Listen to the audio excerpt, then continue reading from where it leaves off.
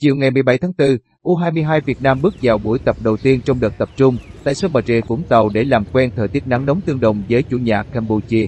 Trong ngày đầu tiên tập trung tại sân vận động Bà Rịa Vũng Tàu, huấn luyện viên Tracier tập luyện với 23 trên 31 cầu thủ. Các cầu thủ chưa thể tập trung do còn nhiệm vụ với câu lạc bộ chủ quản lần lượt là Quốc Giang Khang, Phan Tuấn Tài, Đoàn Huy Hoàng Việt Theo, Quang Văn Chuẩn, Vũ Tiến Long, Nguyễn Văn Trường, Hà Nội và Nguyễn Thái Sơn, Thanh Hóa.